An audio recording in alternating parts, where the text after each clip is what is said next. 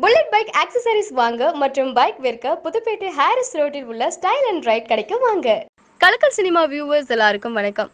முந்தெல்லாம் வந்துட்டு ஒரு படம் நம்ம பார்க்குறோம் அப்படின்னு சொன்னால் அந்த படத்தை வந்து தேட்டரில் பார்ப்போம். அப்படி இல்லைன்னா வந்துட்டு ரொம்ப வருஷம் கழிச்சு வந்துட்டு நம்ம தொலைக்காட்சியில் பார்க்க வேண்டிய சூழ்நிலை ஏற்படும். இப்போலாம் வந்துட்டு டெக்னாலஜி வேறு மாதிரி போயிட்டு ஸோ தேட்டர்லேயும் பார்க்க முடியும். அட் த சேம் டைம் பார்த்தீங்கன்னா ஓடிடி அப்படிங்கிற பிளாட்ஃபார்ம்லேயும் நம்ம நிறைய படங்களை பார்க்க முடியுது. எகைன் அண்ட் டிவிலையும் பார்த்தீங்கன்னா வந்து ஒரு படம் ரிலீஸ் ஆன ஒரு த்ரீ ஃபோர் மந்த்ஸ்லேயே வந்து அந்த படத்தையும் வந்துட்டு நம்ம தொலைக்காட்சியிலும் பார்க்க வேண்டிய சூழ்நிலை ஏற்பட்டிருக்கு. ஸோ அந்தளவுக்கு டெக்னாலஜி வளர்ந்துட்டு அப்படிங்கிறது இந்த இடத்துல குறிப்பிட சொல்லி ஆகணும் ஏன் நான் அதை இப்போ சொல்கிறேன் அப்படின்னு பார்த்தோம்னா ஒரு சில நடிகர்களோட ஃபேன்ஸ்லாம் பார்த்தீங்கன்னா வந்துட்டு இந்த படத்தை நான் எப்படி இருந்தாலும் திருப்பி பார்க்கணுமே அப்படிங்கிற அளவுக்கு ஈகராக நிறைய பேர் இருப்பாங்க. ஸோ அதே போல் வந்துட்டு ஸோ அதே போல் இங்கே தலை அஜித்தோட படங்கள்லாம் பார்த்தீங்கன்னா வந்துட்டு கிட்டத்தட்ட இவ்வளோ படமும் ஓடிடி தளத்தில் ரிலீஸ் ஆயிருக்கு அப்படிங்கும்போது நமக்கே வியக்க வைக்கிற அளவுக்கு இருக்குது ஸோ என்னென்ன படம் அப்படிங்கிறது தான் இந்த வீடியோவில் நம்ம பார்க்க போகிறோம் ஸோ அதில் ஃபர்ஸ்ட் இருக்கிற படம் எது அப்படின்னு பார்த்தோம்னா வந்துட்டு வரலாறு அப்படின்னே சொல்லி ஆகணும். ஸோ வரலாறு அப்படின்னு சொன்னாலும் எல்லாருக்குமே வந்து தலை அஜித்தோட ஒரு ஃபேவரட்டான ஒரு படம். ஸோ அந்த விதத்தில் வந்துட்டு காட் ஃபாதர் அப்படிங்கிற மாதிரி தான் டைட்டில் அந்த படத்துக்கு முதல்ல வைக்கப்பட்டிருந்தது.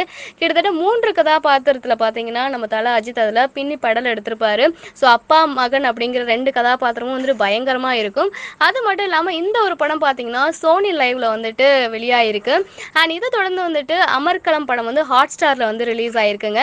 ஸோ அமர்கலம் படம் பார்த்தீங்கன்னா வந்துட்டு தல அஜித் அவங்களோட லைஃப்ல மறக்க முடியாத ஒரு படமாகவும் இருக்கும். அட் த சேம் டைம் தல ரசிகர்கள் எல்லாருக்கும் பிடிச்ச ஒரு படமாகவும் இருக்கு இன்னைக்கு வரையும் அப்படிங்கிறத இந்த இடத்துல குறிப்பிட சொல்லி ஆகணும். ஸோ அவங்களோட காதல் கதை அப்படிங்கிறது அந்த ஒரு இடத்துல தான் ஆரம்பிச்சுது அந்த ஒரு படத்துல தான் ஆரம்பிச்சுது. ஸோ அதே போல அப்படிப்பட்ட ஒரு படம் வந்துட்டு ஹாட் ஸ்டாரில் வந்துட்டு ரிலீஸ் ஆயிருக்கு. அண்ட் இதை தொடர்ந்து வந்து தலை அவங்களோட ஐம்பதாவது படமாக ஹிட் அடித்த ஒரு படம் அப்படின்னு சொன்னால் மங்காத்தா படம் வெங்கட் பிரபு அவங்களோட இயக்கத்தில் வெளிவந்த படம் தான் ஸோ இந்த படம் வந்துட்டு ஒரு கேங்ஸ்டர் மாதிரியான ஒரு படம் தான் ஸோ அந்த அளவுக்கு வந்துட்டு எல்லாராலையும் லைக் பண்ணப்பட்ட ஒரு சக்ஸஸ்ஃபுல் மூவியாக அமைஞ்சது தலைக்கு அப்படின்னு சொன்னால் அந்த மங்காதா படம் மிகப்பெரிய ஹிட்டாக அமைஞ்சிருந்தது.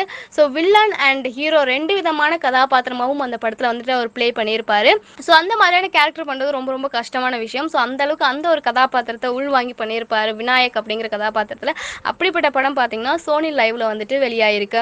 அண்ட் இது தொடர்ந்து தலை அவங்களோட லைஃப்பில் இன்றைக்குமே வந்துட்டு எல்லாருக்கும் பிடிச்ச ஃபேவரட்டான படம் அண்ட் ஹிட் படம் அண்ட் ரொம்ப பிளாக் பஸ்டராக ஒரு படம் அமைஞ்சுது அப்படின்னு சொன்னால் எல்லாருக்கும் பிடிச்ச ஒரு படம்னா அது பில்லா படத்தை சொல்லி ஆகணும். இன்றைக்கும் கோட் ஷூட் அப்படின்னு சொன்னால் அந்த படத்தை பார்த்தோன்னே இவருக்கு தான்ப்பா நல்லா செட் ஆயிருக்கு அப்படிங்கிற அளவுக்கு நமக்கே ஃபீல் பண்ண வைக்கும். ஸோ அந்த அளவுக்கு அவரோட ஸ்டைல்லாம் வந்து பயங்கரமாக அந்த படத்தில் ஒர்க் அவுட் ஆயிருக்கும் அந்த வாக்கிங் ஸ்டைலாக இருக்கும் பேசுறது அதுக்கப்புறம் இந்த ஹோ கோட் ஷூட் போட்டுக்கிட்டு பயங்கரமான ஒரு ஸ்டைலில் வந்துட்டு அவர் நிற்கிறதெல்லாம் வந்துட்டு அந்த படத்தில் பயங்கரமாக இருக்கும். ஸோ அப்படிப்பட்ட படம் பார்த்தீங்கன்னா நெட்ஃப்ளிக்ஸில் வந்துட்டு ரிலீஸ் ஆயிருக்கு. அண்ட் இது போக வந்துட்டு தல அஜித் அவங்களோட நடிப்பில் அண்ட் கௌதம் வாசுதேவ் மேனன் அவங்களோட இயக்கத்தில் வெளிவந்த படம் தான் என்னை அறிந்தால் படம். ஸோ இந்த என்னை அறிந்தால் படம் பார்த்தீங்கன்னா அவங்களோட கெரியரில் முக்கியமான ஒரு படமாக அமைஞ்சிருந்தது தல அஜித் அவங்களோட கெரியரில் அது மட்டும் இல்லாமல் ரசிகர்களுக்கும் பிடிச்ச ஒரு படமாகவே அமைஞ்சிருந்தது. தல அஜித்தை வேறு ஒரு கோணத்தில் நம்ம பார்த்த ஒரு படமாகவும் இந்த எண்ணெய் அறிந்தால் படமாக இருந்தது.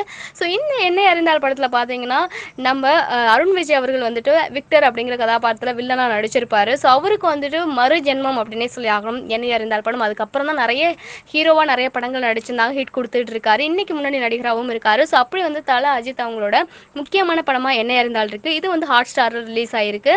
அண்ட் இது போக வந்துட்டு விவேகம் படத்தையும் சொல்லியாங்க விவேகம் வந்து சிறுத்தை சிவா அவங்களோட இயக்கத்தில் வெளிவந்த படம் தான் ஸோ இந்த படம் பெருசாக வந்து மக்கள் மத்தியில் பேசப்படலை அப்படின்னாலுமே இந்த படம் பார்த்தீங்கன்னா ஹாட் ஸ்டாரில் வந்துட்டு ரிலீஸ் ஆயிருக்கு.